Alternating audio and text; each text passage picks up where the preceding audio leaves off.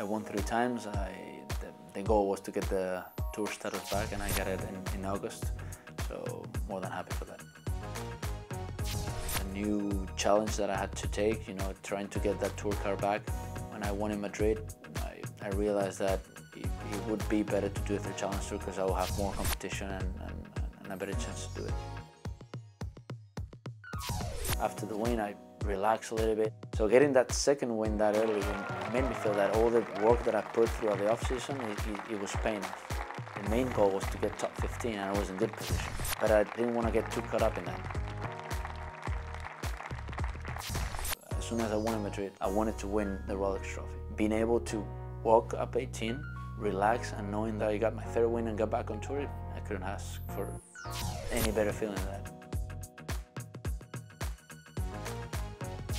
Disfruta del momento. Enjoy the moment.